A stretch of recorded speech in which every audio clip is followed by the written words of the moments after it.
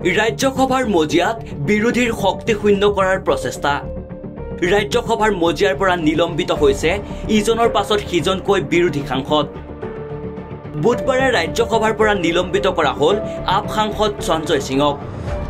Up সাংসদৰ বিৰুদ্ধে ধৰ্ণা প্ৰদৰ্শন আৰু কাগজ ফালাৰ অভিযোগ। বুধবাৰে ৰাজ্যসভাৰ গ্ৰীষ্মকালীন অধিৱেশনৰ মজিয়াৰ পৰা নিলম্বন কৰা হ'ল আম আদমী পাৰ্টীৰ ৰাজ্যসভাৰ সাংসদ সঞ্জয় সিঙক। আম আদমী পাৰ্টীৰ ৰাষ্ট্ৰীয় মুখপাত্ৰ সঞ্জয় সিং।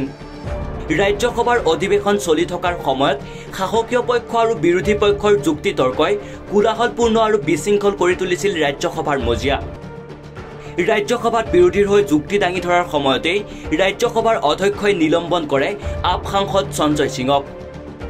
ৰাজ্যসভাৰ উপাধ্যক্ষলৈ কাগজ ফালি দলিওৱাৰ অভিযোগত ৰাজ্যসভাৰ মজিয়াৰ পৰা নিলম্বন কৰে আপৰ ৰাষ্ট্ৰীয় মুখপাত্ৰগৰাকীক।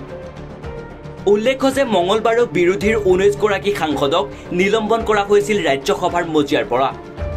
বিৰোধীৰ সাংসদসকলে জি এছ টি আৰু মূল্যবৃদ্ধিক লৈ উত্তাল কৰি তুলিছিল ৰাজ্যসভাৰ মজিয়া। আৰু তাৰ পাছতেই প্ৰথমে এঘণ্টা আৰু পাছলৈ সমগ্ৰ দিনটোৰ বাবেই নিলম্বন কৰা হৈছিল ঊনৈছগৰাকী বিৰোধী সাংসদক। সোমবাৰেও একেই অভিযোগত ৰাজ্যসভাৰ পৰা নিলম্বন কৰা হৈছিল চাৰি কংগ্ৰেছ সাংসদক। আৰু এনেদৰেই ৰাজ্যসভাৰ মজিয়াৰ পৰা বিগত তিনিটা দিনত নিলম্বন কৰা হ'ল চৌবিছগৰাকী সাংসদক। এক কথাত ক'বলৈ গ'লে ৰাজ্যসভাৰ মজিয়াত যেন প্ৰচেষ্টা চলিছে বিৰোধীৰ শক্তি শূন্য কৰাৰ।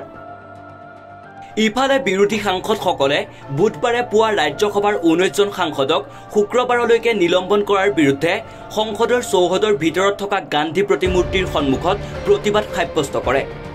ইয়াৰ উপৰিও আন ওঠৰজন সাংসদৰ সৈতে নিলম্বিত হোৱা টি এম চিৰ সাংসদ সুস্মিতা দেৱে মঙলবাৰে ৰাজ্যসভাৰ পৰা নিলম্বনৰ এনে কাৰ্যক অন্যায় বুলি অভিহিত কৰি কয়। এইটো স্পষ্ট যে বিজেপি নেতৃত্বাধীন চৰকাৰৰ ওচৰত মুদ্ৰাস্ফীতিৰ উত্তৰ নাই। যদি বিত্তমন্ত্ৰী হিচাপে নিৰ্মলা সীতাৰমণ সক্ষম নহয় তেন্তে প্ৰধানমন্ত্ৰী মোদীয়ে বিৰোধীৰ প্ৰশ্নৰ উত্তৰ দিব পাৰে। লগতে নেত্ৰীগৰাকীয়ে মুখ্য সামগ্ৰীৰ ওপৰত জি এছ টি আৰোপ কৰাৰ ওপৰত আলোচনাৰ অভাৱ বুলিও তীব্ৰ সমালোচনা কৰে কেন্দ্ৰীয় মোদী চৰকাৰক।